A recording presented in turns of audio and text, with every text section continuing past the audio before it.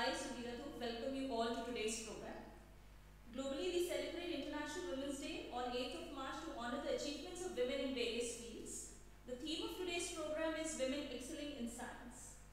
The celebration acknowledges the women personalities who have excelled in their area of expertise. Now, I request Dr. Dinkar Salunke, Director, ICGEB New Delhi, to give the inaugural address.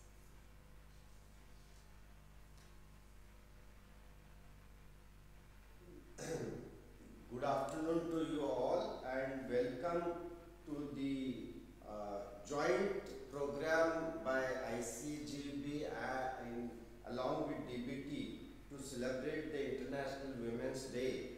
It is a global day to celebrate achievements as Suvira said and also to remind us to achieve the gender balancing and accelerating women empowerment.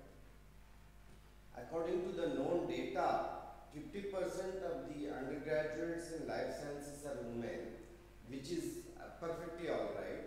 But subsequently, that number keeps reducing, and it is about 30% of scientific researchers are women. And further, if you go and look at the faculty positions at professor level, it is less than 25%. So, this trend seems to be actually alarming in the sense that if you want to have equality among men and women, it should actually be achieved at all levels, and that should be our goal. So, uh, it is quite evident that we do have increasing uh, number of women as a workforce in many many spheres, but it still is not adequate in terms of scientific areas and that is something that uh, for us who are involved in scientific research should be very conscious. We do have large number of students coming for PhD, but eventually in our institutions, number of faculty who are working uh, uh, at uh, senior level is significantly less. So we should, for one more year, we should actually resolve ourselves that we should actually increase that number and to increase that number it is not sufficient that management only is putting efforts but also women scientists across the fields also should uh, put efforts. ICGEB has actually done tremendous work in this context. Particularly, we have been having a large number of programs where we focus on uh, women participation. Very recently, uh, ICGEB has started a program called V-Star and we have been promoting uh, women scientists from uh, African countries uh, to come and work in ICGEB Cape Town, ICGEB Trieste and ICGEB New Delhi. And that selection process had just been uh, begun.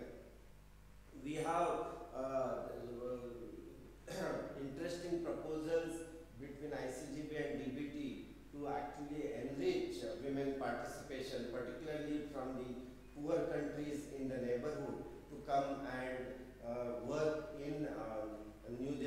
component of ICGEB. So I'm sure slowly all these things will materialize. We will international our women scientist participation in our activities as well as we actually enriches. So uh, today I think we have uh, galaxy of uh, star women performers going to give presentations to us. So let me uh, welcome you all again for this uh, celebration which is brief but I think everybody is actually going to give us a pointed suggestions as to how to proceed further and uh, uh, I'm uh, also happy to see Dr. Rajesh Gokhale and other colleagues in DBT to be participating in this program. So let me welcome you all again and thank you for giving me opportunity to speak to this audience.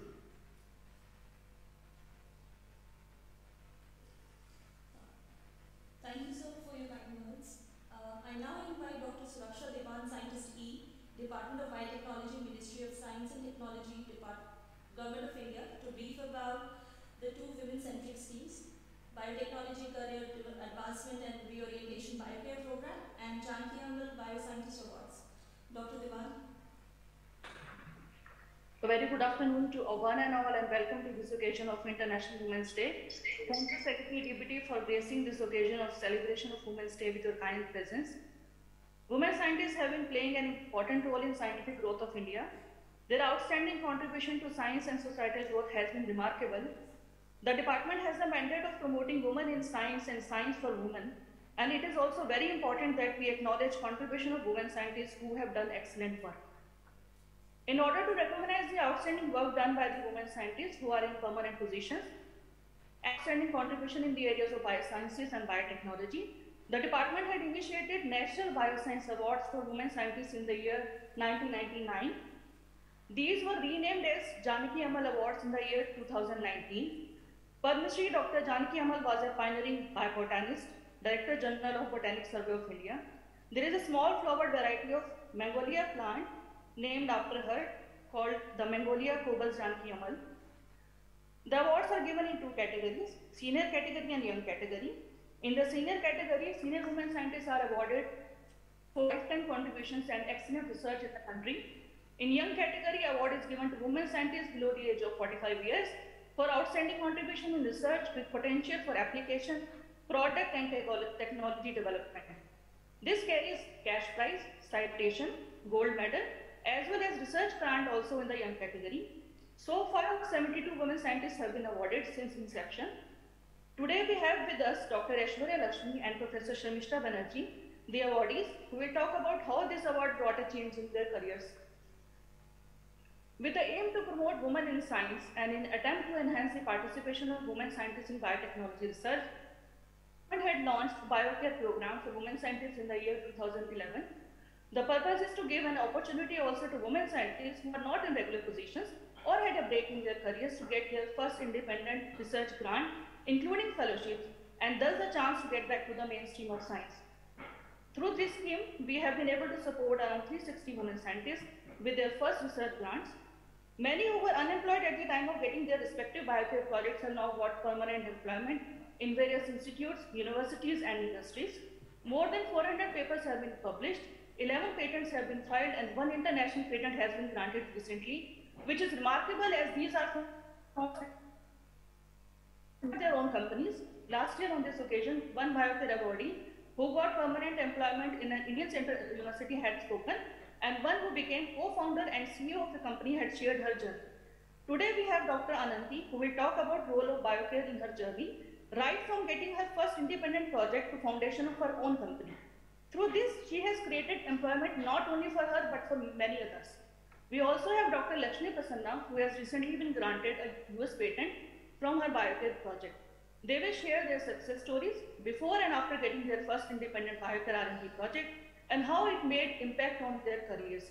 They will also talk about how their novel ideas saw light of the day through this scheme.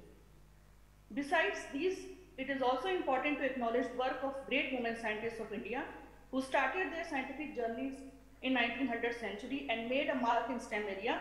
And what is better than to showcase their stories, journeys, and thus inspire the minds of India. In order to do so, an exhibition through posters will be put up in colleges from next month with aim and hope that this exhibition will motivate young students, that is the building, uh, building blocks of India, to take or continue science as a career and contribute to socio-economic growth of India. This was planned two years ago, but could not be executed due to COVID-19 pandemic, but colleges are now open now.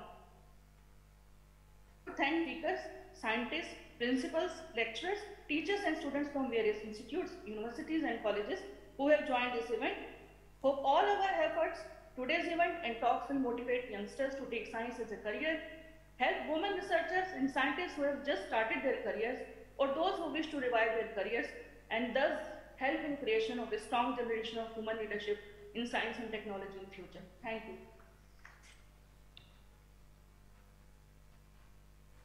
Thank you, ma'am, for the wonderful summary of the journey. Now I request Dr. Sanjay Kumar Mishra, Senior Advisor, Department of Biotechnology, Ministry of Science and Technology, Government of India, to give his address. Dr. Mishra, sir. Good afternoon, everyone. Once again, uh, on behalf of the Department of Biotechnology, I would like to extend my warm greetings on this International uh, Women's Day, which is celebrated on 8th of March every year. Now, on this day, I think this is the time for all of us to reiterate how important role the women have been playing and are playing into all walks of life and all spheres of life, including science and technology. I would like to just give you, you know, just brief points that women in general are so important into the education sector and into the science and technology sector. Uh, first, if you, if you take the sustainable development goals, uh, there are a number of goals, but goal number five, which is specifically talking about the promotion and support of the women into the education and providing them all support.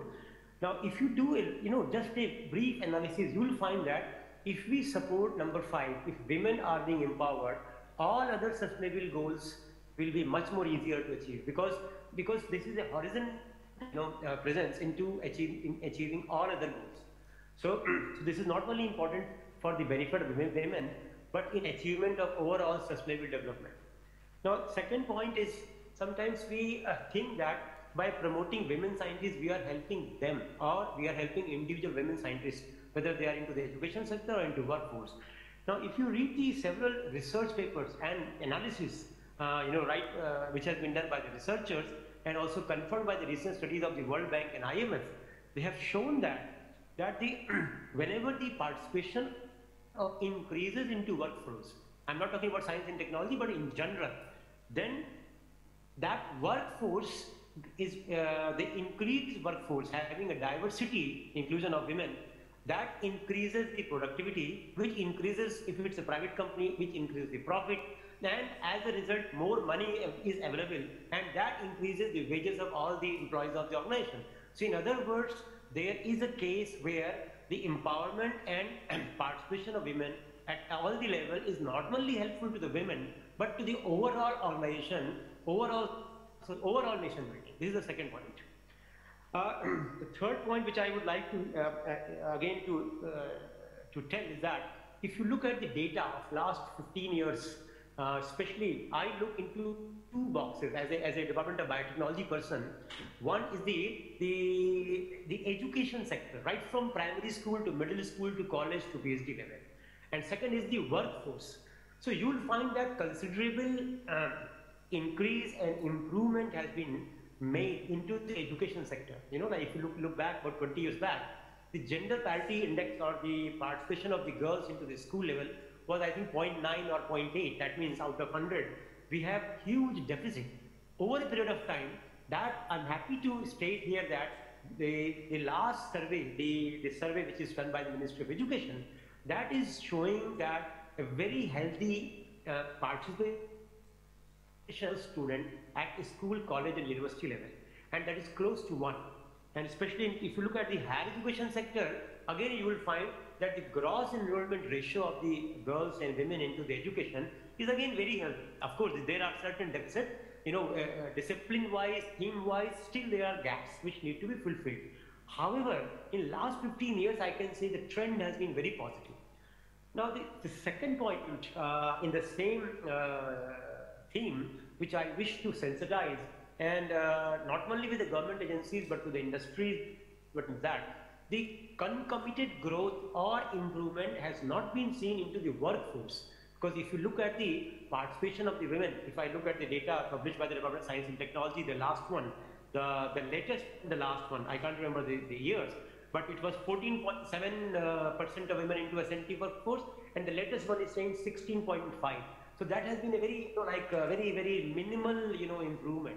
I would be happy if this goes to the 20%, which is the Asian average, or it goes to the 28%, close to 30%, which is the global average. So here is the gap.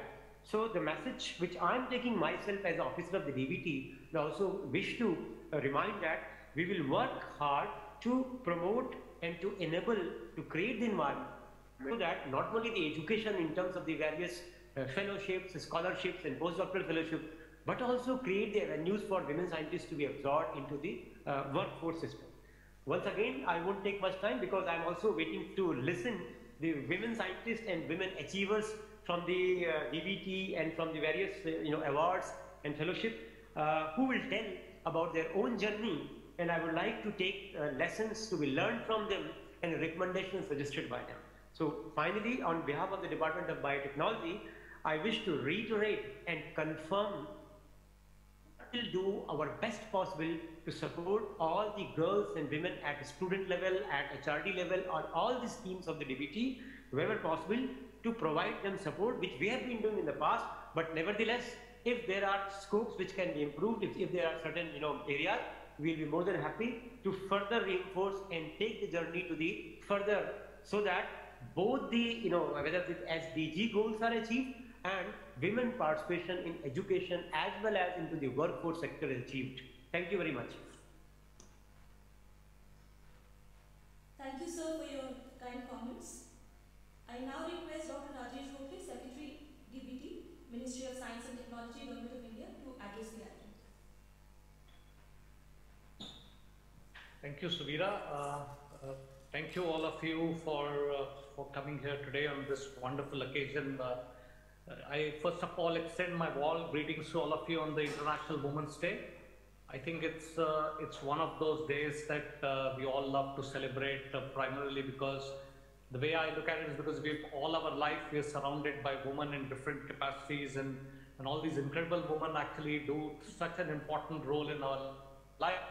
There is no reason why you can't thank every day, but on a special occasion, it's even even bigger and higher. So thank you again, all of you, for making this life such wonderful and gregarious. I'm, I'm, I'm, indeed honored and elated to grow with all of you actually in my life, and this has been an incredible journey. And I must say, I am, uh, it's, it's a wonderful occasion to say that actually. I think the way I look at it is gender is part of one's identity actually, right? I mean, I think this is, this is nothing that you can change or something like that. I think what we can change is these gender specific changes should not demarcate boundaries both in societal and cultural or professional ways actually. There is no reason why we should demarcate those activities and that's what my real uh, you know motivation in all these is. We should have freedom to way the way everybody wants to work and the way everybody wants to express themselves and carry forward themselves actually. I think that's been the most wonderful part uh, of what Department of Biotechnology has been doing. In fact, if you look at Department of Biotechnology's history, it's one of the unique department where large number of, there again two secretaries were women secretaries of the five secretaries, in fact, have led Department of Biotechnology from a point of, you know, in the past several years, and they've done it with great finesse. And all of us, uh, you know, would acknowledge that their contributions have been enormous and immense to the growth of so I think it's wonderful to know that we work in an environment where the women are already given lots of, uh, you know, they are the one who are giving us directions and giving powers and giving activities to be able to look at. However, some of the data, as several of you collected, you know, I also looked at Google and other places to try and find some interesting data to look at. And one of the interesting data that I found on the World Bank site was rather interesting actually. And this said that the that about 43% of the women in India, in fact, complete their graduation in STEM areas. And I thought this was rather incredible, actually, if that's a number, which is because that means that there are more and more people who take up to the STEM areas of research, activity, STEM areas for their graduation. And this is even higher than almost all developed countries. So I got this number saying US is about 34%, UK is about 38%, Germany is 27%, and France 32%. And I think in India it is about somewhere around 43%. So it's incredible that, you know, people take up to the STEM area of science, technology, engineering, and math, and, and uh, in these areas of research for their activities of carrying out future Unfortunately, even though despite this, the number of R&D personnel that works in various posts, I think broadly it's about 3 lakhs or people, if you look at from what you look at from an R&D setup in Indian perspective, actually that works. Unfortunately, the number of people who survive as a long term in the STEM area is still about 15% of them, I think. And I think this is something that we, is a very worrisome factor for a, for a, from an administrative point of view or from a point of view of the way we look at gender balance in our society and system, I think. And I think that's clearly need to be corrected and that clearly need to be looked at and why is it that scenario happens actually and is it there? Therefore, how do we correct it? And I think that's what Department of Biotechnology as Dr. Sanjay Mishra and Dr. Suraksha Diwan both mentioned is that in fact has several programs that are uh, that are associated specifically for to bring people to be able to get back if they have breaks in the in their careers, how to bring them back again and re-energize and refocus and re-get get back into their own uh, own values of what one can look at actually. And obviously there are other programs that one has to do this at the, at the school level, at the college level, at the entry level. And clearly we need to bring out more and more motivational uh, aspects of lives that actually get, get some of these people to do well together. In fact, if you look at sports is one of the area where women's sports personals have been actually doing better than men counterpart in almost all disciplines of, of, of sports. If you look at Liverpool cricket, which has a long, long history, and that cricket history is still very small, but they nonetheless they were also you know semi-final. They were they were in the final last year of the World Cup 2020 as well. So clearly, you know, there's a tremendous amount of environment that one should actually feel excited about being part of this ecosystem and be able to carry out actually. So I think let me first uh, let me just say that you know uh, I, I think what, what department has uh, decided to do, in fact, to be able to, you know, carry forward the, these, some of these fellowships and awards that are being granted is to double their numbers from this year onwards. And I'm really thankful for all my colleagues to be able to do this. I think this is both for Janaki Ammal fellowships for young women as well as for the senior women actually. And we would also enhance their fellowship uh, amounts that that, that we will provide them to carry or carry forward their work. So hopefully this is a small, small way, but I think it will keep changing and if we keep moving ahead as keep, as more and more money flows into the department, actually we will continue to empower and carry forward these activities. So this is a small, I, I understand this is small for the total size of the country, but there's always a beginning to be able to make and be able to carry forward actually. Finally, I really want to again acknowledge all the past and present women uh, people in Department of Biotechnology because that's where I am present here for. And I think uh, there are lots of wonderful women and I think I really admire them for their dedication, for their commitment, and for their all the complete professional ethics that they carry forward to. And I have, I think they have tremendously contributed to this department's success. As I have said again, reiterate the two secretaries by themselves have been women in this part of things in this in this activity. I think uh, with this I will just stop, but I'm very looking forward to listening to some wonderful, uh, this small, uh, you know, small talk of what themselves and feel about it, and you know where are the other possibilities that we all can you know inculcate some good ideas and practices and I really look forward to the six, six of you whom you're going to speak after me. And I think I'll be, uh, I'll just stop here, but say thank you very much again. And this is very, very important uh, for us that uh, we actually celebrate successes of people actually in variety of forms. And I think thank you very much again for coming. And thank you, Dr. Salunke, for hosting this uh, today's meeting. It's a very, very uh, important activity that you are doing over there. And I I'm really grateful from Department of Biotechnology is grateful for this activity. Thank you. Thank you, sir, for your kind words and guidance. Uh, we now move to the talks from women researchers. Our first speaker is Professor Rita Mulherkar. Professor Rita's area of specialization is in oncology. She is Professor and Scientific Officer retired Homi Bhabha National Institute and ACTREC, TMC Mumbai. Presently Director of Samartha Krupa Life Sciences Private Limited Pune. She is Fellow of National Academy of Science, India. She is a senior scientist and has been a mentor to many students. She serves as an expert on many committees and panels associated with the department, including that of DBT Biocare, committees at BIA, at Ministry of Health and Family Welfare, ICMR, and DST's WAS in Life Sciences Committee. Professor Rita? Yeah, thank you very much for the kind introduction. And I would like to, first of all, wish all of you a very happy International Women's Day. Um, can I have my slides? I think I've sent my slides to you. Can you uh, project them, please? Yes, ma'am. Yeah, thank you. So, uh, first of all, I would like to thank um, uh, Dr. Suraksha Diwan for inviting me and I would like to congratulate her for holding this um, half-day uh, event on International Women's Day. Uh, next slide, please. So uh, very often I'm asked, how was I motivated to be a scientist?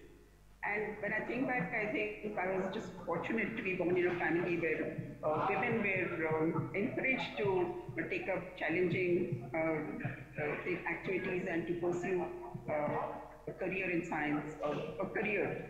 And I was really very fortunate to have two of my um, grandfather's sisters who were uh, highly qualified in those days.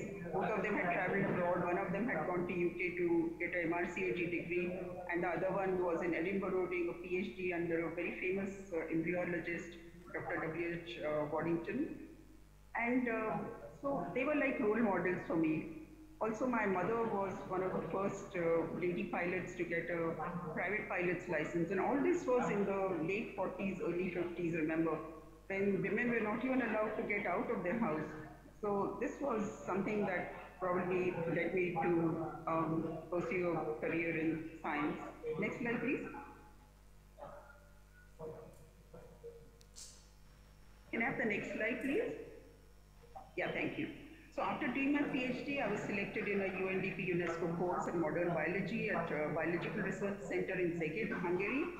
And there I was fortunate to learn the then latest technology hybridoma uh, making monoclonal antibodies. And that was the time when uh, uh, Kohler and Milstein had just got the Nobel Prize for uh, this hybridoma technology.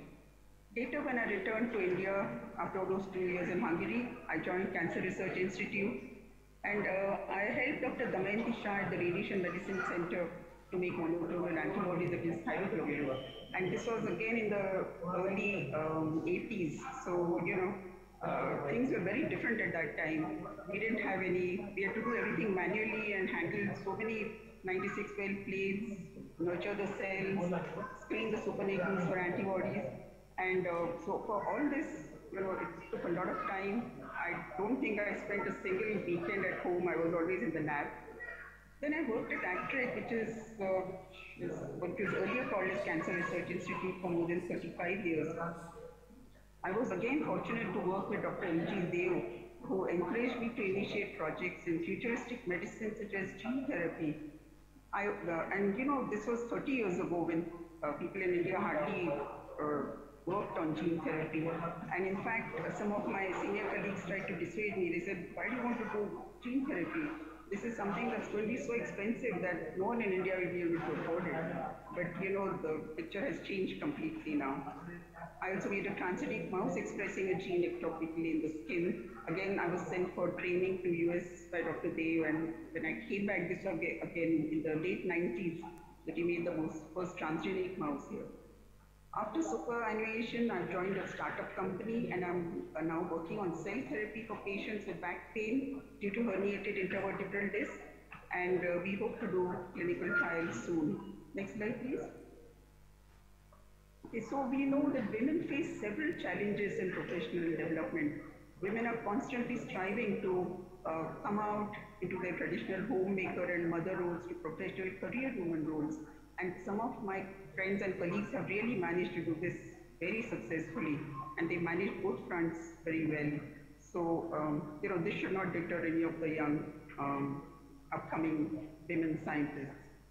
However, we know that pregnancy and related ramifications are still primarily women's concerns in some cultures and continue to slow down the growth of many women professionals in addition to other societal perceptions in India. In fact, I remember I had a very bright young girl who joined my group uh, for a PhD program, and I was really happy that she had joined me. She was a really intelligent girl. But soon after she got uh, she uh, joined, she got married, and I had no problems with that. But she had a, tough time uh, handling both situations. Some mother-in-law would want her to go for all the religious uh, ceremonies everywhere, every day, and she hardly gave any importance to the research that this young girl was doing. So unfortunately, the girl had to uh, quit her PhD uh, uh, program. So constant attempts are going to steadily improve the gender climate in several aspects. And there is an increasing number of medical graduates and scientists who've done really well. Uh, and we know there are two examples from DBT. We know Dr. Manju Sharma and Dr. Uh, Renu Swarup who reached the top position of power at the Department of Biotechnology. So um, even then, I think women have to be at least 10 times better than the men to reach such positions of leadership. Next slide, please. Single-minded, uh, mindedly pursuing a career is easier for men, definitely, than for women. as evidenced by the pattern of work and working hours, time spent on domestic family chores, and conference attendance rates of male versus women. Pregnancy and maternity leave, uh, leave are still viewed with much bias by most employers. Women have to walk a tightrope to balance family, clinical care, and research pursuits, in addition to maintaining and advancing professional skills. So efforts like fellowship and mentorship options, support for women after maternity leave, both flexibility in education programs and accessible care development, skill development programs, leadership workshops is the need of the hour. Better childcare facilities at workplace and conference venues are considered helpful for advancing women's careers. So, uh, next slide, please. Uh, we know we've just heard about some of the initiatives that uh, DBT has taken for um, uh, to encourage women to return to their career after a break. Uh, in addition, there is the Women Scientist Scheme WSA, which is uh, run by Department of Science and Technology, and the Kiran Scheme uh, Department of Science and Technology, and of course BioCare, which is what is holding this meeting. Next slide, please. So, I would like to end with this, these words from one of the uh, most admired women scientists who has got two Nobel uh, Prizes, uh, Madame Marie Curie, who said that life is not easy for any of us. But what of that? We must have perseverance and above all confidence in ourselves. We must believe that we are gifted for something and that this thing at whatever cost must be attained. So all the young um, women scientists in the uh, audience, I must tell you that you must persevere and have confidence in yourself and you will be successful. Thank you.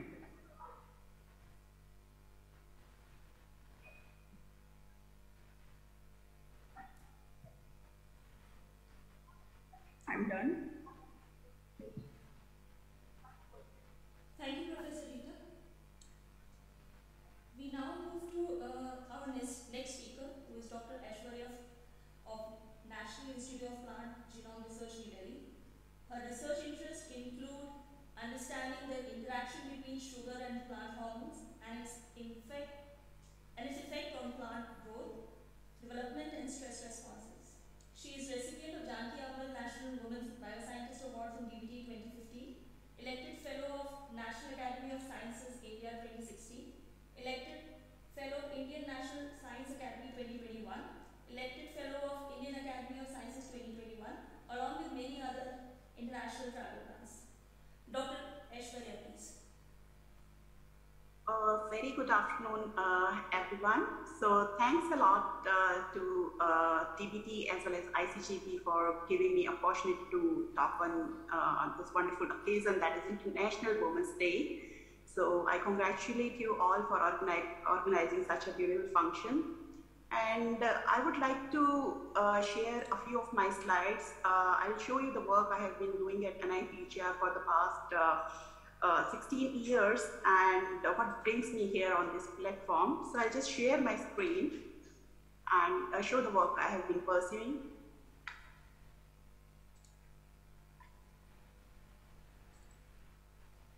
Uh, so can you uh, see my slide? Uh, Dr. Aishwarya, we can see your slide. You need to put it in projection mode, please. Yeah.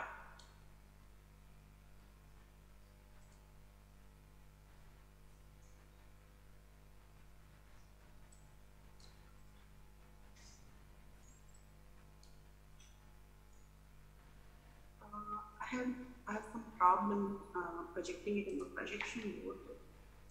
Yeah, can you see it? Yes, please.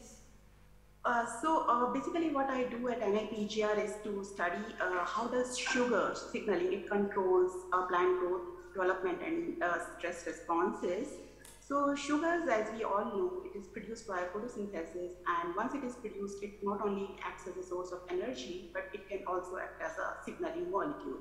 So in my lab, uh, I have been trying to decipher uh, how does sugar acting as energy or a, or a signaling molecule control plant growth development as well as the stress responses.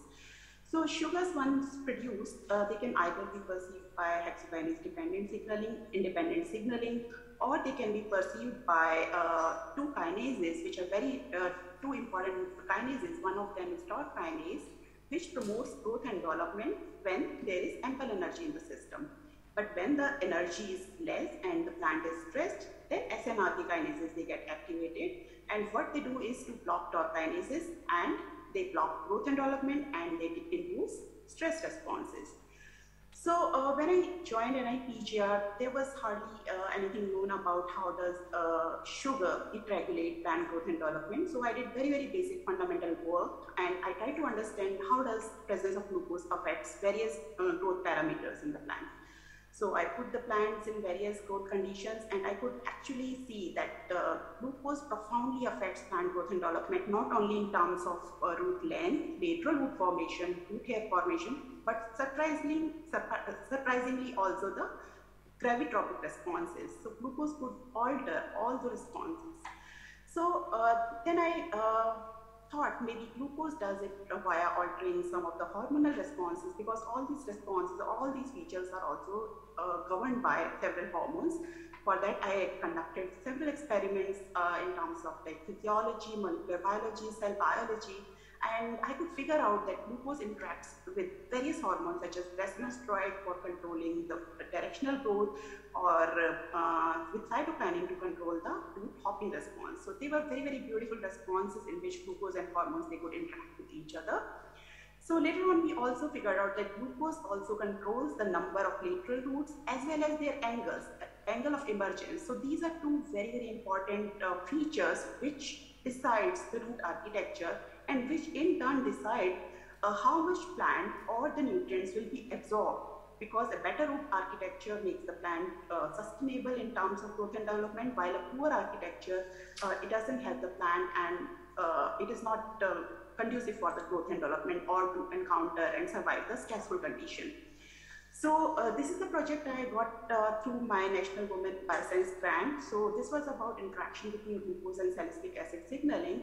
And in this project, what we could see is that the, while the glucose could prom promote the root uh, growth, as it inhibits the root growth. It promotes the stress responses. And finally, if we could uh, see uh, at the molecular biology level, that happens because glucose and salicylic acid they antagonistically regulate some of the cell cycle related genes. So these are all cell cycle related genes which are anti antagonistically regulated by glucose and salicylic acid and so is the uh, cell cycle or the cell division. So we have proposed a model wherein uh, glucose and salicylic acid by controlling a common set of genes they antagonistically regulate each other. Apart from uh, studying the effect of sugars on uh, root growth, we have also looked at the hypothetical growth response and there are some of the very, important parameters which the interaction of the two controls. One of them is the hypothetical length and another is very, very beautiful as you can see in this picture. The hypothetical gravitropism is uh, it is uh, greatly influenced uh, in the presence of hormones and the glucose. In the presence of resveratrol, which is a plant hormone, the hypothalamus they, lo they lose their gravitropic response, while in the presence of glucose, they just restore it. So that means glucose gives them the ability and tells them that you are a stem and then you have to move against the gravity. So these are some of the beautiful fundamental features we have been able to explore by using Arabidopsis as a model system. Apart from the growth and developmental responses, we have also figured that the presence of sugars, they can give plants a memory, a, a, an ability to remember things just like human beings. So this is a very beautiful experiment where we could show that when the plants are challenged with high temperature or the lethal, lethal temperature, then they just simply die, whether they are present in 0% glucose medium or 3% glucose medium. When, but when these plants, they are given progressive stress, that means first they are challenged with a lower stress or lower amount of stress and then they were challenged with lethal stress, then we could find that in presence of glucose, they could survive, they could remember that they were previously challenged with a, a similar stress and they have generated certain kind of a memory so that they could better tolerate the lethal stress and they could survive when they were grown in the glucose containing medium. We figured out the mechanism and we could actually show that the presence of, uh, there, there was some presence of epigenetic marks such as histone uh, trimethylation marks on the histone of uh, some heat stress memory genes and because of these marks, these heat stress memory genes, they could show a sustained expression even after the stress was withdrawn. So because of the higher expression of these heat stress memory gene at a later time point gives the plant an ability to survive the uh, heat stress better. So uh, apart from this, we were also interested in understanding why does there is such a big overlap between the glucose and the hormones in controlling so many growth and development and stress responses. And we carried out several uh, microarray experiment or the whole genome experiments to find out is there an overlap between the two signal transduction?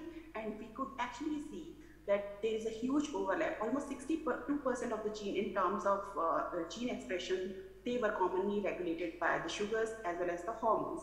We started to characterize a few genes so as to find the nodal, uh, uh, nodal molecular uh, factors which, which, which uh, lie both beneath the uh, glucose signal transduction as well as the hormone signal transduction. So I picked up one of the genes which was expressed very highly in presence of glucose as well as in presence of uh, and we started to characterize it because this gene uh, even though it was expressed protein, its function was not known and it just contained one domain which was domain of unknown function. So it made us all the more interested in this gene and later on found that this gene is very very similar to some of the ring finger FCs containing protein. So we named these genes as FLJ and to our surprise almost all the members of this gene family they could interact with SNRK. I will reiterate here again that SNRK is the protein which get induced when the plant faces stress and when there is very less energy available to the plant. So uh, we started to look for the phenotype of for these mutants and we found that the mutant phenotypes look as if they are constantly under challenge. This is my wild type plant, these are the mutant plants and they look as if there is less energy or as if they have more, more SNRK all the time. So we looked at the SNRK levels and we actually found not only the level of SNRK was high, but also the activity of SNRK was very high in these mutants. And as I told you, whenever SNRK is more, it stops the activity of TOR kinase. We could actually see that yes, the activity of TOR kinases uh, was very, very uh, low in these plants. Uh, since these uh, genes, they were also affected by several of the stresses, we looked for the stress response of these mutants and we found that they were resistant to stress.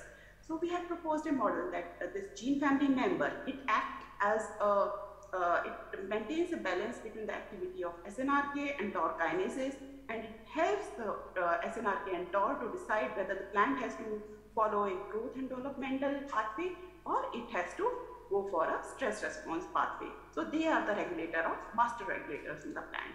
So basically the conclusion uh, of my work which I have done till now is that a role of sugars, a role of glucose and its interaction with plant hormone, it is very, very important for controlling seedling growth and development. And we have also figured out novel signaling regulators of uh, sugar signaling and which can be modulated and which can be changed in such a way that uh, the, stress responses of the plants can be regulated. And these findings can be used uh, from the prospects of biotechnological point of view. So uh, as uh, uh, I was requested that I should let you know about the contribution of Janki Ammal Award on my career. So I would say this was the first recognition which was bestowed upon me. And before that, I didn't win any awards, even though I applied for so many of them. So I was first recognized by this award in 2015. And once I got this award, and then there was, uh, I, I, got recognized from various academy, I was recognized by JC Bose uh, fellowship. So I would say that that was the starting point that gave me a recognition in the scientific community. So it really helped with my career. It helped me with better networking, as the previous speaker said, the women they get less opportunity because of their dual responsibility to network, to attend conferences, and to uh, interact with the fellows, with the peers. But once you are recognized, it's very easy to make a mark and to network with other people. And uh, uh, it is uh, very important to say that it gave me financial capability to run the lab smoothly for the last five years. And these years had been really, really very tough uh, because of the corona. We didn't have like the grant release in time and all. But because of this grant, I could use this money to support my students who were in the final year of their PhD. So I, I could give them SRF fellowship so that they can complete their work and they could they can uh, they can work in my lab till they get a postdoctoral opportunity. So that way, uh, the grant had been really good for me. Uh, could, with the grant, I could sustain my lab for the past uh, for the past five years, and uh, not to mention the personal award money because we all have ambitions. We all have, uh, you know, we think uh, in terms of like what can we do more for our kids and family. And with the personal award money, Uh, of course, uh, we can definitely do a lot. So, th uh, so thank you so much, DVT, for giving me this award. And with this, I would like to acknowledge all my students, all my colleagues who have helped me to reach the place I have been, and I thank uh, NIPGR, DBT, and DST for giving me the grant and the support and the encouragement. Thank you so much.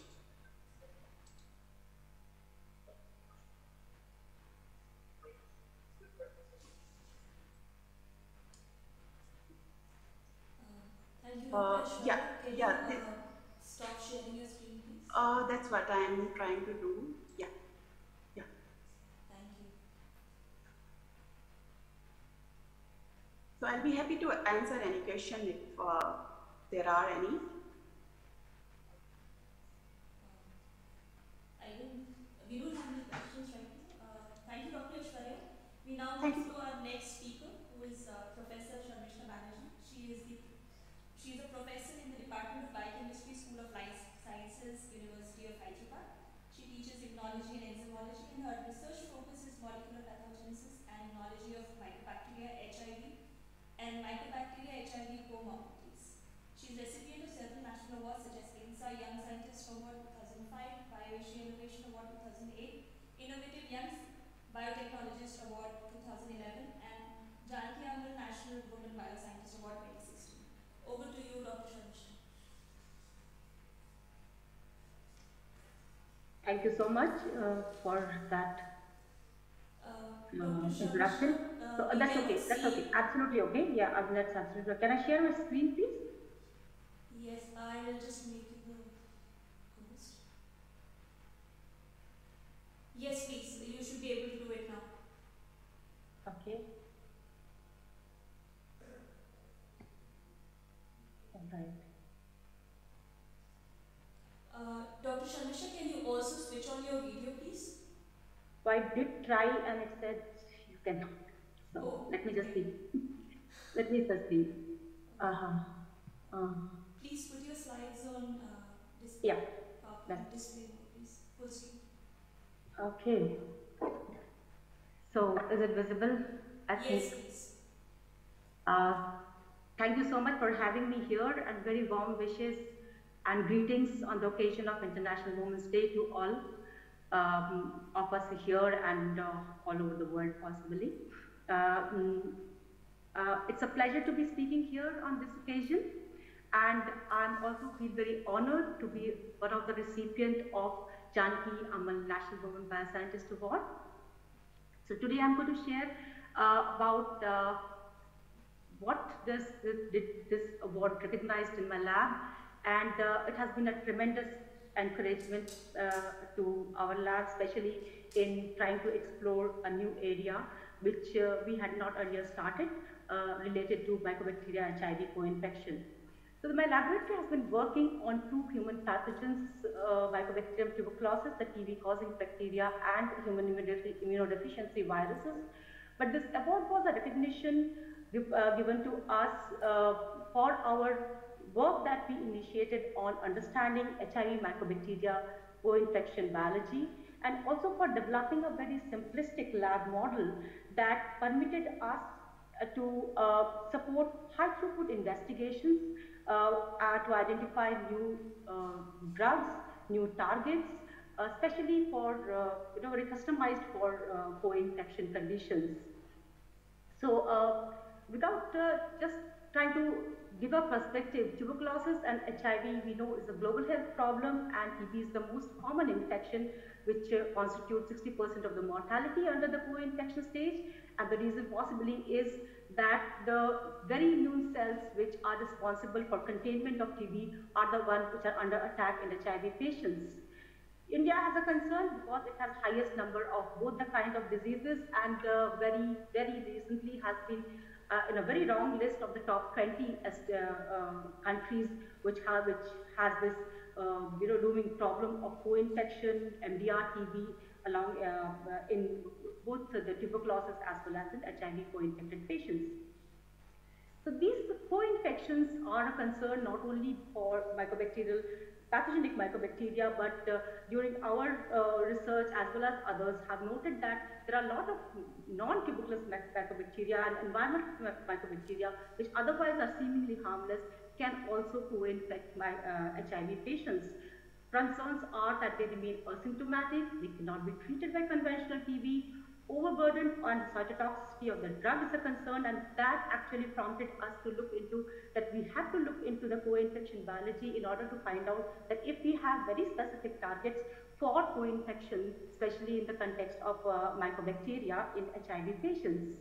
So we started our study uh, uh, with, uh, with a field uh, observations uh, spanning around 250 um, you know, subjects and for the first time uh, kind of proposed that there is a huge discordance that we generally uh, see in CD4 T cell levels with the viral load and proposed that non-correlation of CD4 T cell levels and viral loads in the co-infection background possibly should be taken uh, very seriously because we cannot use these parameters for scoring the disease progression.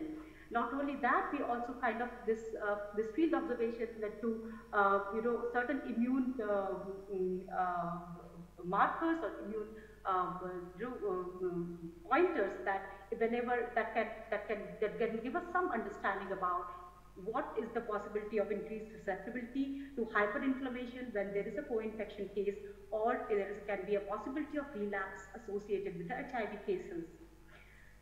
Also, we have noticed that there is a huge prevalence of atypical mycobacteria, environmental mycobacteria all this prompted us that if we require to do a very high-end cell, uh, you know, understand the cell biology, molecular biology event, we require to have a more simplistic model and uh, we try to take these all these observations from the field to generate a field compliant cell culture based model which will mimic uh, the readouts from the field. So this model uh, uh, was based on the cell culture of micro macrophages and uh, we made a model where uh, HIV background gets a secondary infection of mycobacteria. The model was validated not only model can be used not only for pathogenic mycobacteria, but it has been validated for clinically relevant opportunistic mycobacteria that exhibited increased persistence during co-infection together with increasing HIV titers and has been uh, uh, glad to, glad to uh, uh recognize that it has been used in, in certain modified forms or uh, directly by several labs across the world. With the hypothesis that uh, if we, the cellular environment which actually is uh, the host environment is nothing but an expression of, can be an expression of differential mycobacterial uh, uh, proteome that is um, you know, um, expressed during the co-infection stage, which possibly leads to a very uh, conducive environment for HIV, because of which HIV may be having a better propagation environment we did a very thorough, uh, uh, so we did this, uh, we used this particular model, isolated and tried to understand the mycobacterial proteome which or the secreted proteins either directly into the cells or within the microenvironment, which where we also noticed that there can be a cell-to-cell -cell communication through exosomes, cytokines and many other factors and try to understand that what are the changes that takes place in the host proteome vis-a-vis -vis the intercellular mycobacterial proteome. Uh, we did a very intense, uh, um, uh, you know, um, dissections of the various pathways and try to focus, try to understand uh, different kind of critical host parameters that are altered during the uh, uh, co-infection to get a background that what is the environment that HIV prefers to live in and mm, you know gets a boost in propagation. propagation. Uh, just to kind of give a glimpse that we found the many of the usual players which actually reinstated and strengthened our, our confidence in our model where we found that uh, the host environment is uh, compromised for endosomal recycling, but more important, even the cargo degradation. Some unusual player, of course, we uh, saw that there are metabolism which is altered, but there are very unusual players uh, like carnitine O-palmitoyl transferases, levels of carnitine which had already been reported to be um, uh, conducive for HIV, uh, metabolic rewiring in mitochondria, dysfunction of mitochondria, high energy state, yet there are uh, certain kind of receptors that were upregulated during co-infection, which can be used by HIV to have an entry other than the CXCR4 and CCR5, which are commonly known, not to know, uh, not to uh, list the various kind of transcription factors and regulators which are possibly pro-HIV activities that were upregulated during uh, mycobacterial co-infection. Uh, the question next definitely was what is happening to the mycobacterial proteome? And we did see that mycobacteria also and in the in a single infection versus the co-infection have a very different set of proteins to express. And also the, our our our uh, interest was also in several of the secreted proteins. So we did an analysis on that and uh, also tried to validate those uh, mycobacterial proteins the impact of those mycobacterial proteins on the persistence and on HIV titers uh, using certain mutant bacteria uh, and uh, try to see that whether such kind of factors can have a, uh, have a say in persistence of mycobacteria itself even during mono-infection and what happens to the viral titers when such a when uh, co-infection occurs.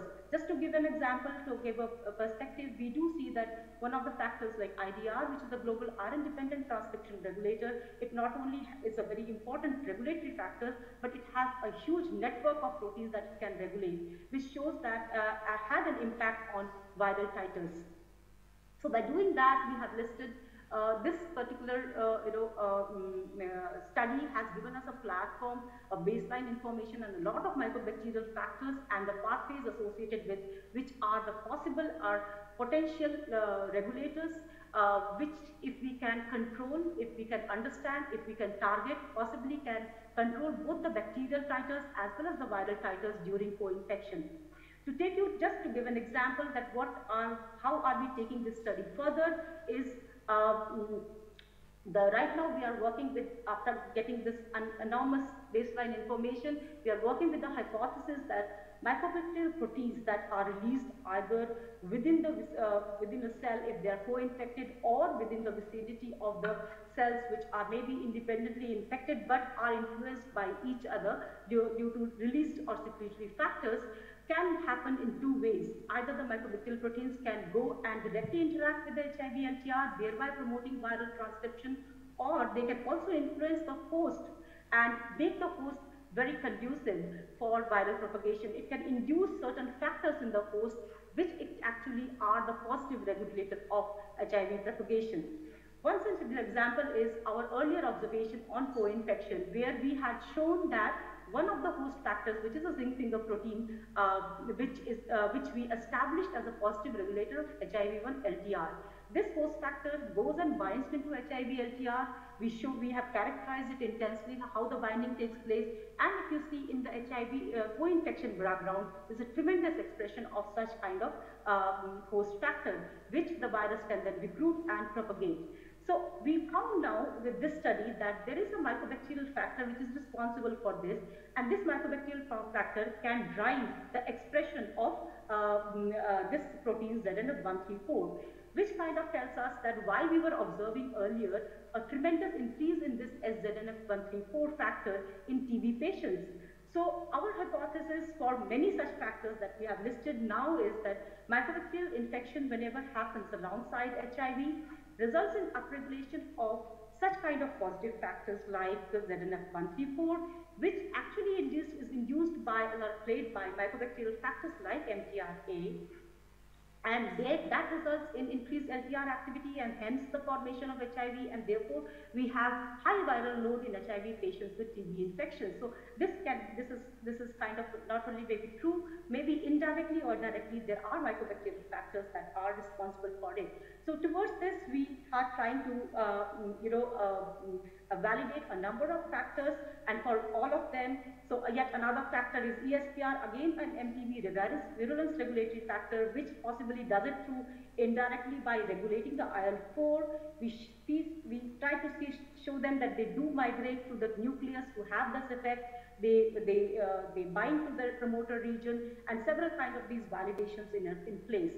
So I'll be summarizing the hypothesis that we are working on with the uh, help of uh, uh, in support of this particular program and there are a number of such factors which we feel that uh, can be potentially uh, regulated. We have to make to uh, make us understand the co-infection biology where we feel that there are several factors that we have, have identified that are secreted directly into the cell or are in the vicinity and these cells, these factors, they find their way into the nucleus and we see them in the nucleus and when these factors, they bind to the LTR of HIV or maybe indirectly, it tends to increase the uh, you know, viral uh, transcription and that results into increased viral titers.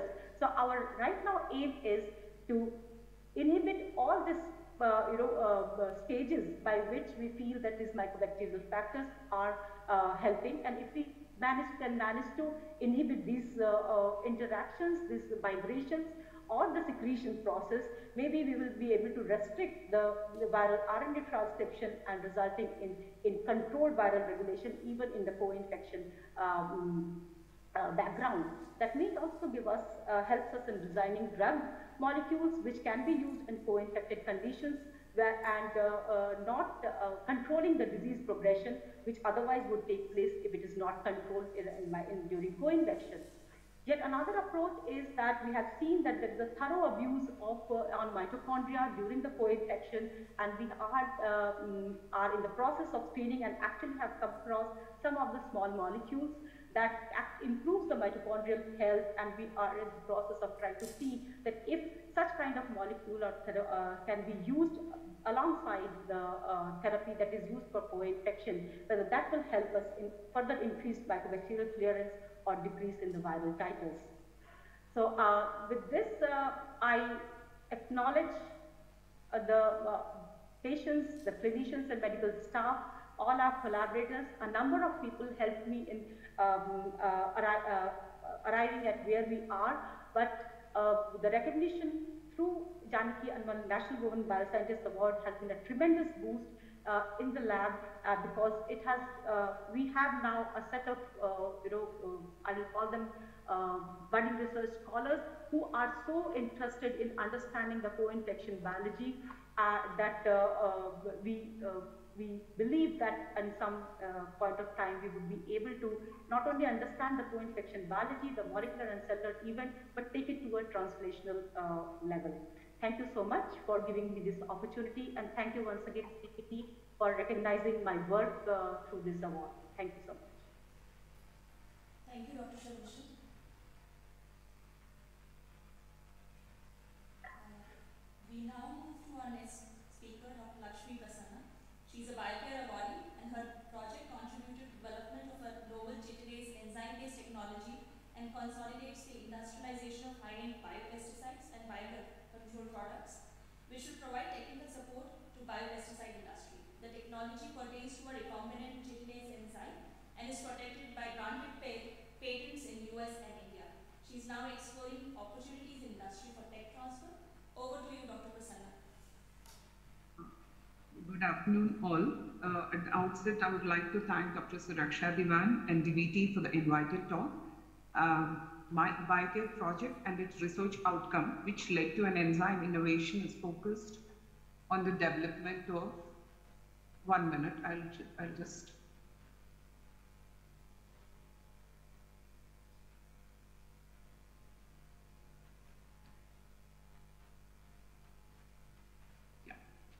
Uh, yeah, can you please uh, help me with the share screen. I'm not able to uh, share the screen. Dr. Lakshmi, I've made you the co-host. It should allow you to share the screen. There is a green. Yes, ma'am. Yeah. Okay. Uh, yeah. Yes. Is it visible now? Yes, please. Uh, yes, you can start the search. Yes. Yes, thank you.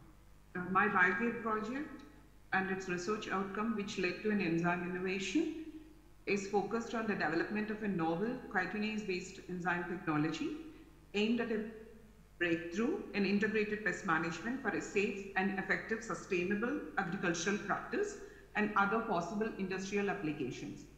The motivation for the Biocare project proposal is uh, my trust with a new chitinase from a novel strain of Brevibacillus laterosporus based on the preliminary research carried out at Norwegian University of Life Sciences in collaboration with Professor Vincent, pioneer and world expert in chitinase research.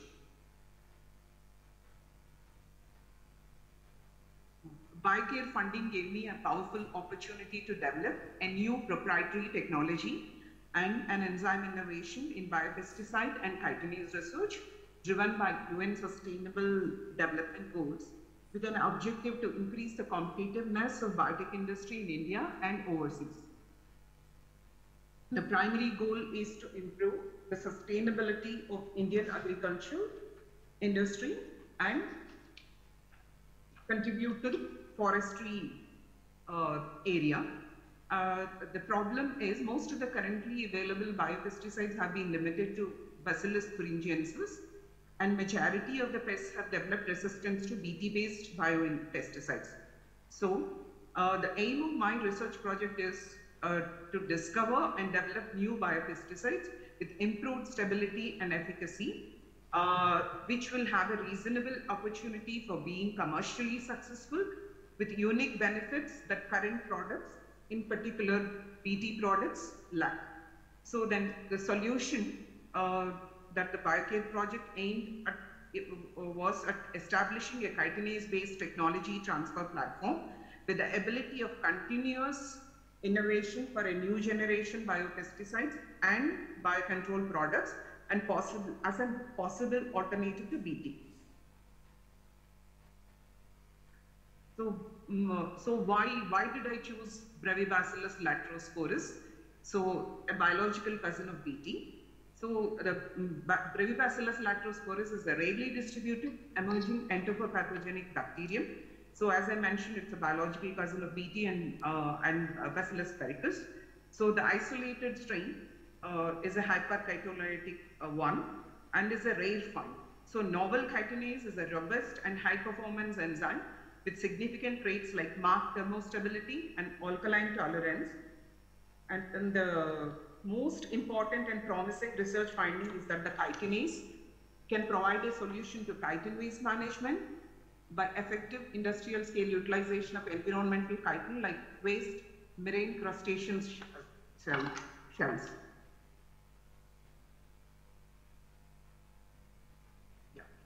Uh, so the research premise is the first and foremost uh, goal of the research premise is development of integrated research platform for a novel uh, proprietary technology, um, mainly for biological control. But when I was performing my experiments, I could just uh, find out that it has many potential industrial applications in the areas of bioremediation, biofuels, etc. And uh, so the chitin waste management can lead to the enzymatic production of value-added products. So like uh, N-acetyl glucosamine and D-acetyl glucosamine, which have highly medicinal uh, value. And uh, so I have just listed out like a few unique characteristics of this chitinase. Mm. So like as I mentioned, it's like alkaline tolerant and which uh, is active over a broad pH range, 3 to 11. And the optimum pH is 9. Uh, and it is thermoactive so again, it has a dual activity and uh, the exochitinase acts at 55 degrees centigrade and the endochitinase activity is, was exhibited at 65. So, and, the, and it's highly thermostable mm, uh, with a range of uh, like 70 degrees centigrade. And uh, it's an extracellular chitinase which has high affinity to natural substrates like uh, shrimp shells and crab shells. So a recombinant chitinase is secreted into the extracellular medium uh, making it suitable for large scale production required for all the uh, industrial applications. So uh, I could devise a novel purification protocol uh, using powdered crustacean cells, making the large scale purification strategy very simple and effective. Mm, and uh, then la lastly, the dual activity of the chitinase makes it very efficacious and uh, it's, it, it has a lot of uh, benefits over Bt pesticides. Because it can be used as a contact and in, ingestion biopesticide as well. And uh, just to share this, uh, Novozymes is a global leader uh, in enzyme research, and uh, they have announced uh, in 2000, early 2021, uh, uh, the collaboration with, in collaboration with uh, which is US-based agricultural sciences company, to work on enzyme-based biocontrol technology. So I would like to just mention that uh, I have filed my patents uh, in 17, Indian patent in 2017, and uh, US patent in 2018. So much before Novozymes ventured into this biocontrol technology. So, I mean, this needs to be acknowledged by the scientific fraternity. I've got my granted patents just two, three months ago. Indian patent was granted in uh, December and uh, US patent in November. And uh, so I would like to conclude my talk with uh, just mentioning a few points. So um, I, CCMB hosted my uh, research work for four years. I joined CCMB as a research consultant uh, uh, to support Indo-Australian project on lipases. Uh, and then I continued with my biocare project. So um, we, I'm an army wife who had career breaks because I was into work-life balance. So when, since I have, I'm very passionate about contributing uh, to research. So whenever I, I, got an opportunity, so I could work and contribute and try to be productive. So now uh, I'm just trying to seek technology mentorship uh, and then uh, seeking grant funding also. And I'm trying to build partnerships with the help of BIRAC, DBT, and uh, BCIL for scaling and refining the technology and uh, for the technology transfer to different companies. So I could uh, list and uh, the I could identify and list the companies and shared it with BCIL and BIRAC. So I will take it forward uh, from there. So I need to understand the landscape to foster the in, in innovation, target market, and, uh, and uh, customer segment. So and I also need to collaborate with technical expertise to continue innovating and finding new applications. So probably I would come back to DBT uh, for some kind of support, uh, either this grant or like because I don't have a permanent position, so I need to associate with an academic institute, uh, an academic lab, or uh, an industry, and then uh, would like to develop the uh, product. And I deeply acknowledge the support uh, extended to me uh, by Dr. Suraksha Diwan, Dr. Renu Swarup, Dr. Nitin Jain, Dr. S.R. Rao from DBT, and uh, my the present and past directors of CCMB, and Dr. Archana from IP Group, and my group leader in particular, Dr. Madhusudan Rao, uh, and uh, all my lab mates uh, for all the learning and fulfilling experience to make this work. Thank you all. Thank you, Dr. Any questions? We don't have any questions right now. Thank you uh, for your talk, Dr. Prasanna. Uh, we now move to the next speaker, who is Dr. Ananthi Sivnani. She is a Biocare awardee and her funded research was on quantitative tissue proteomics of oral tongue squamous cell carcinoma for novel biomarker discovery. She was a faculty at Adyar Cancer Institute, Chennai till very recently and has founded a Biocare Technology, where she is also the CEO. She's also director of Saral Biosciences Research Institute. She's passionate about her new endeavor and she has been working with medical students, undergraduates, postgraduates, PhD students to mentor them and provide them with technical guidance. Dr. Anand. Uh, thank you for the kind introduction, but I couldn't share my screen. Oh, okay, give me one second.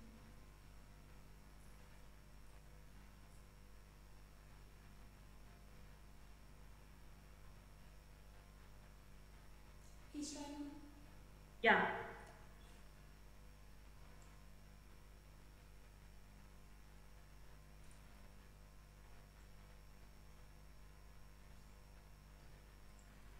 Is it visible now? Uh, can you put it in the uh, slideshow mode, please? Yes, this is fine. Okay. Thank you. Thank you for giving me this uh, opportunity to present about myself and my company, my Biocare grant and the contributions. So myself, so, so uh, I after my master's Madi. I've been a hospital scholar in Madurai Kamaraj University, where I pursued my postdoctoral studies with proteomic technology. And further with that, uh, I, I was uh, trying to explore more, so I want to move on with different field of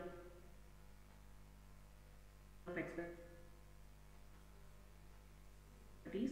So I moved with the IIT Madras, Indian Institute of Technology Madras, for my whereas in that period only I got this Litchi Biocare Award for an, uh, and with that grant I was able to move to Adyar Cancer Institute as I was in need of more number of cancer samples.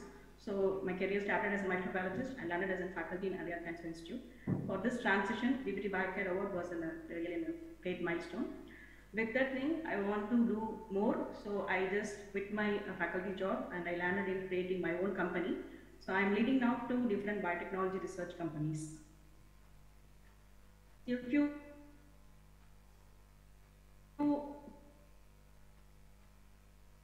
words about the grant what I obtained from the especially uh, tongue cancer. The need for the study was when we look into the literatures, you're not having much reports with Indian populations and there was always an uh, uh, devastating about this oral cancer as it has been diagnosed in a very late stage and we need emerging markers which can tell us the condition of the patient in very early stage. That is the only option where we can save lives. So with that uh, information, I just started by having the approaches using uh, 2D dye electrophoresis coupled with mass spectrometry to identify the markers. Not only identifying, I want to characterize and I want to validate them with more number of samples. And ultimate aim of this project is to create an, a very easily available assays using salivary samples where we can diagnose the cancer patients in the early, early stage rather picking them in a very late stage. This is just an information what I tried with the samples and this is an image describing the uh, differential gel electrophoresis using one gel for comparing both normal tissues as well as the tumor tissues. And with this we are able to identify about 122 differentially regulated spots. And the marked region shows you the clear difference. It's from the same patient. Normal tissue was the adjacent normal and the tumor tissues. And this technology was able to pick up most number of differential regulated protein spots. With that, we did multiple gene ontology analysis and multiple gene ontology assays to find the novel markers which are very specific to our Indian population setup. And we derived with about 24 candidate markers which were having a significant differential regulation. And uh, apart from identification of discovery phase, we went for validation phase using qRT-PCR and we found a similar trend happening in RT-PCR like expression level also in mRNA level. So we uh, carry forward with this 24 markers for further analysis of our work. As I was mentioning earlier itself, we need markers specific to Indian population setup because it is not the same. So we can't use the markers which has been already available with the Western population. For to confirm this uh, aspect of concept, we did an BioExpress analysis where we took the data which is already available with Western populations and compared with the data of our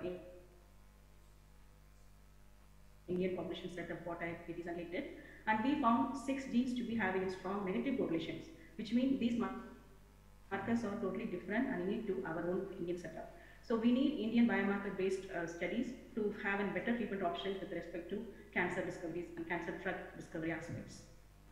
So apart from qRT-PCR validation, I went for IHC analysis as well. Uh, in this, we have done about more than 10 markers with different uh, stages of infection, uh, different stages of cancer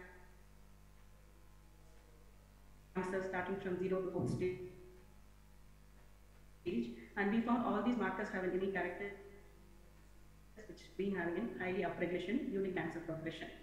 And apart from this, we took four markers based on the proteomic study, RT-PCR, IHC validation, and we went for salivary ELISA. So we took the salivary samples from normal patient, like normal uh, healthy volunteers, and we took from an IP going for a cancer stage, and we took for cancer samples as such. So we want to evaluate all these markers pattern, how it being picked up in a very early stage, And we found that certain markers like vimentin and other proteins have a capability to be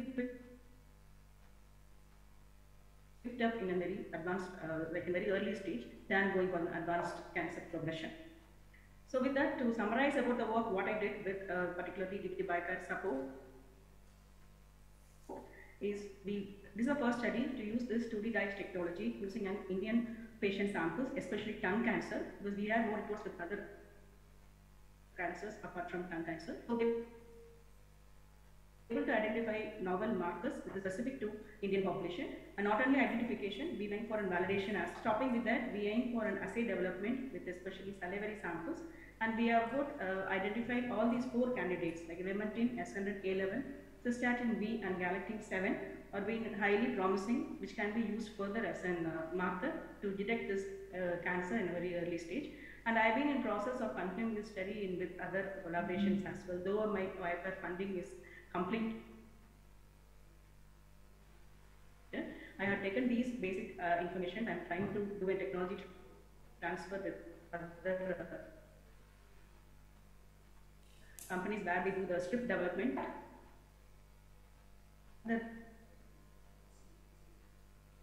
specific points I want to mention about DBT in my career. It helped me to develop multiple networking and it gave the first scientific recognition as an independent researcher. And on the whole, it influenced me a lot. So I had my company named Clin Biocare. Because of this biocare thing, I was being uh, recognized in multiple levels. So uh, on the whole, it gave confidence to start my own company. And uh, sir is always my uh, inspiration from during our having the uh, discussions. And he is the one made me sit back in India and think about Indian problems and Indian aspects. So all these things made me start my own company. And my own company in my own native. So because I am from very much down knowledge and other things. So I have started this company to help my own native people who are studying here, especially girls. And I've been having my own uh, uh, Uh, students here being employed and we have been taking them in multiple of PhD works as well. So with this, few words about the company, what I've been working with. So we work with cancer biology, microbiology, marine biotechnology, human diseases, plant biotech and reproductive biology. And especially we focus with the more student aspects rather with more of this other projects them and to connect the gap between the merging with the academical things so that it can be translationally converted to patients who are in need of this biotechnology requirements. So these are few of our uh, recent uh, activities which I was doing with multiple people and these are our few clients already being in touch with CBT. And thank you for giving this wonderful opportunity. I welcome you all to uh, such company. Is about 3000 square feet company where you are getting employment and you are being trained and you are giving multiple research aspect projects. Thank you very much for this opportunity. Thank you, Dr. Anandi. We now move to uh, the last speaker in the series, but by no means the least. Uh, she is Dr. Bushra Alvi. She is an as associate professor at IIT Kanpur, uh, and her research interest involves exploration of genetic and epigenetic changes that initiate cancer and its progression. Apart from many other awards, she's, uh, she holds the DBT Wellcome Trust India Alliance Senior Fellowship 2020. She was also awarded Ramachandran National Bioscience Award for Career Development from DBT 2020 and Shanti Swarup Bhatnagar Prize 2020. She has been recently named among the 75 under 50 scientists shaping today's India in a compendium issued by the ST Government of India. She'll be taking us through her scientific journey today. Dr. Bushra? Yeah, thanks, Suvira. Like, can you please make me host? Yes, I'm just doing that. Yeah. So, uh, thanks to uh, DBT and ICGEB. Yeah. Can you see my slides? Yes, uh, can Yeah, you thank you.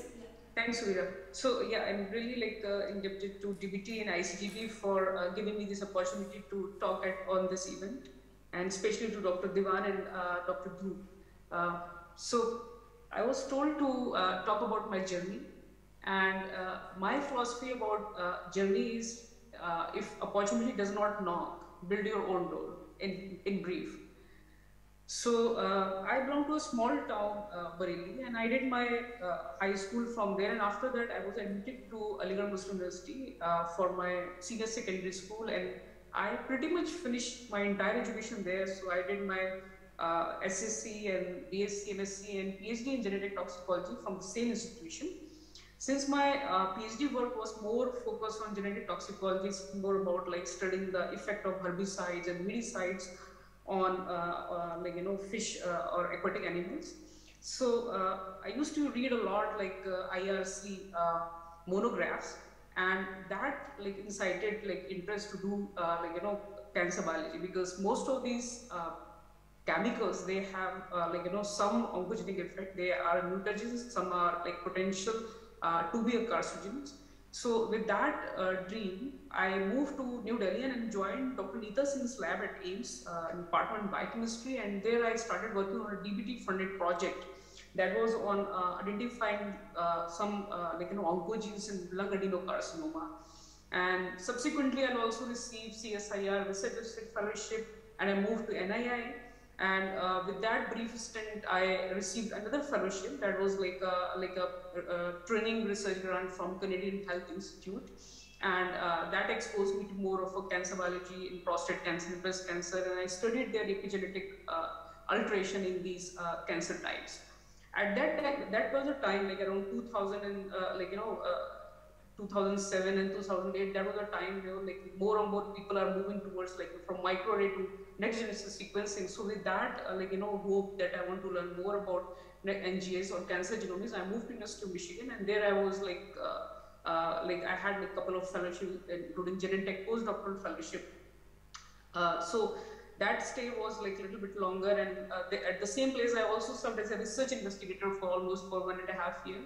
And around 2012, I decided to move back to India because I thought I had enough of uh, like you know training as a postdoc, and uh, I was fortunate to get the fellowship, intermediate uh, uh fellowship from uh, like DBT India Alliance. That time it used to be like DBT Wellcome Trust India Alliance.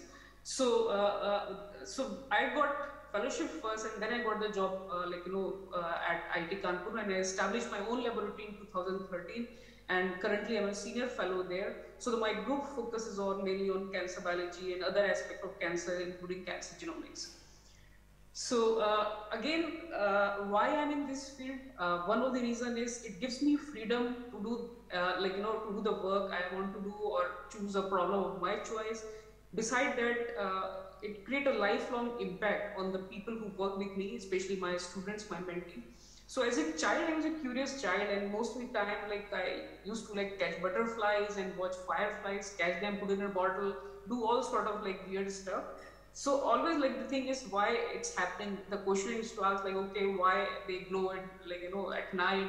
So with that, like there was a scientific uh, acumen in the background, and uh, with this, like I developed interest in biology and other sciences. And uh, after doing my 12th, uh, like you know SSC, I decided to go for uh, like you know uh, uh as usual for a PCB student. Like the dream is to become a doctor, so I decided to become a physician. And some of the traits that really like you know uh, impressed me was like how empathetic and how confident they are, like they're going to cure the diseases. But unfortunately, I could not uh, get through that, and I don't want to be a like you know uh, like a, a, person who will work on a BDS or like more of a like you know dentist. So I decided to like uh, uh, move on with my higher education. After BSc, again I started to think like what I want to do. Then I thought like okay, with all the uh, patriotism, I decided to become an Air Force officer. And that time uh, I went to uh, this place like uh, Varanasi. They have like short service like you know boat like it's, a, a small Air Force base. So I qualified written exam there, but again uh, I failed in their uh, like you know physical test that is like monkey crawling and the rope climbing. I failed. So again, like because science was my passion, I moved on. I said, okay, I'll do my like you know higher studies. I went to uh, do on PhD. But if you look like most of the trades in these things, whether it's a physician or like an Air Force officer, is there. So I decided to become a scientist when I started my uh, PhD. So currently my uh, lab focuses on like my group focuses on understanding uh, how like what initiates cancer and how it progresses, how it moves to other part of the body, what we can do to control it. So in in, in a nutshell, like that's what we do. So pretty much uh, like other other important aspect of being like you know uh, in this position is still I retain my uh, this curious uh, childlike attitude. So again, I can uh, I'm going to ask these questions, but in a different way, like in a more mature way. So uh, again, like uh, so when I decided to uh, join IIT, like I was having few other offers as well, but then obviously you can think about like, I want to do biomedical research, I want to work on cancer, and joining IITs means like hey, IITs are known to uh, develop technologies uh, like uh, we recently even developed like this ventilator and even like oxygen concentrator and robotics and the big challenge was like, okay, from where I'm going to get clinical samples because for cancer research, I have to do like, you know, uh, if you really want to do, make an impact and take your research to the like, you know, patients uh, you want to have, you want to work with uh, clinical samples. So uh, in one of the meetings, I asked one of my friend who uh, is working in one of the cancer hospitals to help me uh, get the clinical samples. So his answer was like, okay, you move to IIT Kanpur, it's very difficult to get clinical samples you better work on cancer cell lines. So uh, to all my like you know uh, colleagues or like uh, women or other like you know students or whoever is sitting there or listening to this, don't take uh, like you know these kind of suggestion. Don't take no as an answer. So I started like you know exploring this local area and establish a good like you know niche of collaborators within Lucknow, Delhi, and uh, Kanpur. Now we also have collaborators at, uh, in Tata, like Mumbai. So that was the biggest challenge. And then uh, obviously, like in India, the follow-up is not that good. So usually you get the patient sample, but then what will happen with that patient after five years, or after 10 years, we don't know. So that is very important. And then how to like, you know, uh, team up with the pathologist to get the clinical details. Then other, uh, uh like, you know, like the, the uh, uh, roadblock was how to get samples in a good condition. So we have to create pretty much our own cold chain, get the portable small liquid nitrogen like cylinders carriers and get the samples in a good condition. Obviously, like uh, when you want to do cancer biology, immunodeficient mice facility is must. And at that time at IIT Kanpur, there was a mice facility, like a, a temporary, but not the immunodeficient mice facility. So I started from the scratch, and it was in the middle of like you know nowhere, and uh, in a small room I started. And uh, at several occasions the mice were like attacked by a meerkat or like rat, a wild rat, my, rats will injure and they eat up the mice food. So now we have a, a very nice sophisticated five-story building there uh, in the campus and this uh, problem is resolved. Not only that, the IIT Kanpur, they decided uh, to start like the School of Medical Research and Technology, SMRT, which is designed uh, which, which is designed by the HOSMAC. Uh, like uh, these are the leaders in setting up the hospitals. So eventually, like, you know, things will pan out once you have a, like, you know, a will, uh, you know how to, like, you know, if you have perseverance, you know how to, like, chase it and uh, achieve it. So my uh, lab, my group focuses on, uh, like, these cancers. We mainly primarily work on prostate cancer, colorectal cancer, breast cancer and glioblastoma and we use uh, uh, array of technology like cancer genomics, fluorescent in situ hybridization and other functional genomics aspect of the cancer biology try to understand the mechanism between, uh, behind the oncogenes and how they evolve. And also like we try to look for some of the drugs which may be target uh, which could be used for targeting those pathways. So in pretty much we ask like what is the molecular mechanism? What is the basis of drug resistance in uh, many cancer? Because many cancer usually they respond to cancer drug or chemotherapeutics which are which have been used. And then over a period of time they develop resistance. So what is the mechanism of resistance? How we could overcome we also uh, uh, uh, use cancer genomics to explore new cancer biomarker and genetic aberration like uh, in Indian uh, uh, cancer code, especially in prostate cancer, and finally translate all these findings into precision medicine to help patients. So this was the first study, like, so I joined in 2013 and I tried to like, you know, uh, collaborate with uh, several hospitals around uh, Kanpur. So within Kanpur, we have GSVM hospital. We had collaborators from there, AIIMS New Delhi, as well as KGMU, King George Medical University, Lucknow, and even a private pathology lab in Gomti Nagar. So Dr. Vinny Tandon, who is on this paper, also like collaborated in getting all the sample. And this was the first characterization uh, uh, of the prostate cancer patient from Indian uh, uh, from India. And uh, what we found that like uh, pretty much these status were a little bit different. TM2R, which is a highly recurrent genetic alteration in Caucasian population, was also similar in Indian population. Beside that, RAF kinase alteration was more. So in Caucasian is only 2%, whereas in Indian it was found to be 6%. And uh, so this was the first study to show like uh, these are the like you know uh, uh some of the established alteration prevalent in Indian prostate cancer patients. So currently, uh, what we are doing, we're exploring the uh, mutational landscape of Indian prostate cancer patient, and we have several collaborators, clinical collaborators, as I mentioned, including like Tata at Mumbai. And what we are from this pilot study, what we did, we sequenced few patients, like and what after analyzing the data, the whole exome sequencing data, we found more missense mutations and the uh, average mutation uh, rate was around 2.37. So usually, uh, like for advanced stage patient, anything more than uh, one is supposed to be like the patient is having much more advanced stage disease, and that is one of the reason like why we got a little bit higher mutational rate uh, because most of these patients are diagnosed at late stage. So early detection is very important, and this is one very interesting lead that we got from this patient. We found that uh, one patient uh, he uh, had like this uh, CDK12 biallelic inactivation, Uh, biallelic inactivation of the gene, and because of this and this inactivation, these mutations uh, are in kinase domain, and because of this, you see there is like tandem duplication in, in the entire genome and because of this tandem duplication we see a lot of uh, like you know new antigens so it's known as a neoantigenic burden in this patient and this make these patient, patient like you know uh, like much more susceptible to immunotherapy. So our lab is our, our group is also working in understanding the pathobiology of CDK12 uh, like you know by uh, biallelic inactivated uh, mutation uh, positive patients and what what therapies would be used to benefit these patients now, uh, uh, like because today is a very special day, so I thought we should put uh, this slide. And I'm really, like you know, indebted to D DST especially like this Vigyan Jyoti scheme and uh, it's a wonderful scheme and I'm sure like uh, DBT will also come up with similar uh, strategies. So they provide three day, three weeks residential camp for the brightest class 11 girls and we had them I think those in 2018 and uh, it's a residential camp and they go to different labs. They uh, like you know uh, do hands-on experiments interact with the faculty and the other students. So this was a batch that i mentored at that time. So you can see how bright and beautiful these girls are. Like they are like full of like questions and full of like you know enthusiasm and if given right opportunity i'm sure all these girls will eventually become leaders in their field. Not only like the women who are there in this picture down here in uh, in this uh, women in science and engineering conference but they have potential to even become uh, uh like you know elizabeth blackburn like these nobel laureates or barbara mcclintock or marie curie.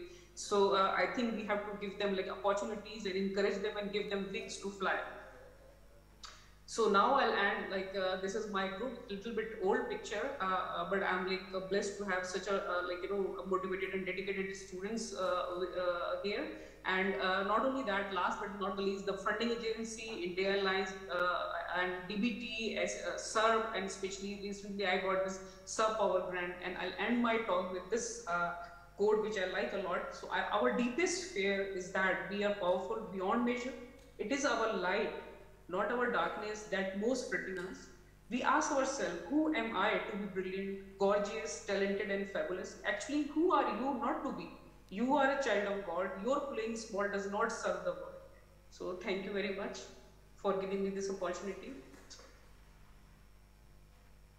Thank you, Dr. Bushra. That was a very touching end remarks. Now I invite uh, Dr. Asif Mohammed, group leader and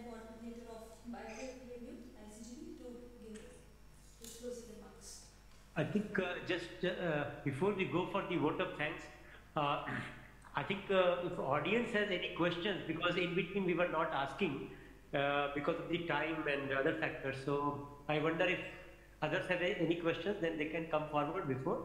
And I have just one question to start with uh, with Dr. Ananti Sivaganam. is Dr. here? Yes, sir.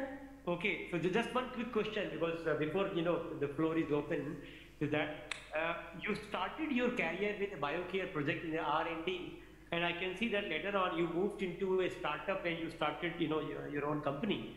So can you just tell, it, tell us a little bit more, you know, like uh, not about the science but about your own mental process, your thought process you know, that suddenly uh, you change the course of action of your career from a researcher to an entrepreneur because what has happened, what was thoughts which were coming into your mind, that is one. And then, uh, you know, like I can imagine being a startup and that to a women startup, then will have a lot more challenges. So can you just give a little bit, one, you know, there's one challenge and how did you overcome that? Yes, sir. Thank you for asking the question, sir. I have faced a lot of challenges in executing this startup and things. But the thought process came because of this DBT Biocare. I have been um, uh, noted by many people as a bioproteomic expert. So people started asking me about second opinions on proteomic technologies and proteomic aspects and we are not having much people working with this gel-based approaches with mass spectrometry and other things. So when I was helping others and many people asked me why don't you start this as a separate service like division where many will be uh, getting the help from you and it can be reaching more people. So that is the first point with the influence of DBT Biocare I was able to uh, know the uh, lacking area where we can pitch in and I can use my expertise of this 18 years where I adapted this technology from my PhD days and used in my postdoctoral studies as well as in the, my faculty job. So that is the area I started. And while establishing this uh, startup thing and major uh, investments and other things, uh, it was really a ma major challenge. And exactly when I started this thing, we got Corona as well. So we were having a lot of uh, disappointments and lot of things, but we were fortunate to sustain the uh, situation and we were getting people support and we are getting more students coming in from the colleges as they don't have facilities in their own college and they come up and they were uh, expecting to have hands-on training where I could help them with my small setup when I started. Even I remember when I was starting, I was having only two uh, tables, workbench tables with one small instrument setup for my proteomic technology. And from there, now I have built up about this 3000 square feet of complete setup with accommodations only for girls.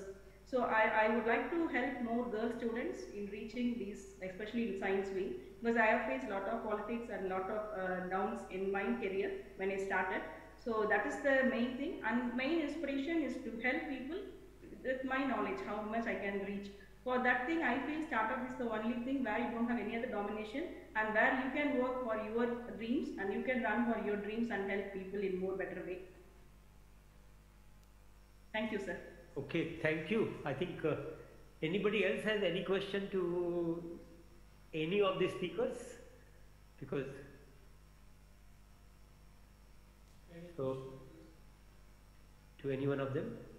And very quick, uh, before anything comes, just to uh, reassure Dr. Bushra Ateeq, uh, because I'm very happy to see the slide about the Vigyan Jyoti program which uh, uh, you were showing, madam. And the, the reason is like I'm, I'm, I'm, unable to stop myself because I joined DBT only six months back, and before that I was head of the Kiran program and the Women Science program in DST. Yes. And during that time, this particular Vigyan Jyoti program was conceptualized. Of course, there was a, you know, some, uh, some seats were there, but actual design, the actions, the planning, and that was done, I was very much instrumental in that. So Vigyan Jyoti is one which I'm very happy to see that that has come to your slide. So if you are happy, and I was, you know, watching the the, the nearby the uh, Navodaya Vidyalaya school, Kanpur Dehat, I was in touch. And you know, like uh, with their two visits also, and I, I'm aware, so I'm very happy for that part. But in addition to that, I would like to reassure that not because uh, you know I have moved, but you know uh, already DPT has been doing, but in the past I have been instrumental in starting this Vigyan Jyoti. So the program called uh, Gati, G-A-T-I, which is again started in coined in my time. And third, another scheme called Mobility Scheme for the Women, which uh, which was again lying for you know under consideration from last I think seven years, six years, which allows the permanently employed women scientists who had a regular job in IITs, in universities, to have mobility because of family or personal reason from three to five years. So we started that program last year only with two women scientists. So idea was to have proof of concept that it runs.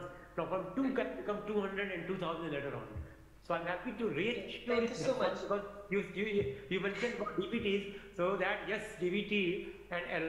DBT is doing a lot, uh, but uh, like a uh, little bit yeah. more at the grassroots level is also important. DBT is also putting like a lot of efforts, like BioCare and uh, yes. other like you know uh, uh, like such programs, like even the Janaki Ammal Award is Yes. But at the grassroots level, also is very important to uh, encourage uh, like this college girls. That that uh, that is excellent. That is I excellent. am like the key nodal person for IT Kanpur, so thank you for that also. I know, I know, I know.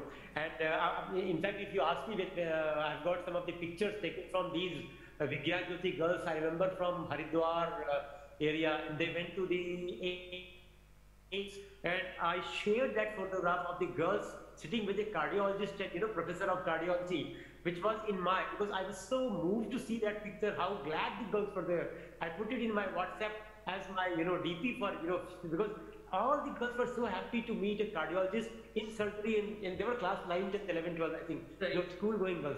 Right. And, you know, uh, so I really, uh, uh, you know, uh, I really take your point and Suraksha is also listening here. Thank you. Thank you very much. We can move ahead. Thank you, Dr. Mishra. Indeed, these are very important programs from DST and as well as several of these programs from DBT. So I hope uh, all of you liked and appreciated this event organized today on Women's Day jointly by DBT and ICGEB New Delhi. To conclude the event, first of all, I would like to thank Dr. Rajesh Gokhale, Secretary DBT, and Dr. Dinakar Salunke, Director ICGEB, for gracing the occasion and sharing their valuable thoughts. Uh, I would like to thank Dr. Sanjay Mishra and Dr. Suraksha Diwan for supporting women-centric schemes including biocare, as well as supporting the program management unit at ICGEB, ICGEB PMU. Thanks to DBT and offices of Dr. Mishra and Dr. Diwan for support, their support for organizing today's event. Uh, and I thank all the speakers for participating in the event, their presentation. It was indeed very nice to know their success stories. Uh, uh, we also thank Dr. Savira and her team to organize today's event, as well as ICGEB's uh, administrative and technical staff for their support. Finally, I thank all the uh, audience here who joined us today. We intend to organize a uh, full day conference next year and uh, hope to see you uh, next year in person. Thank you all. Thank you very much. We conclude the event for today.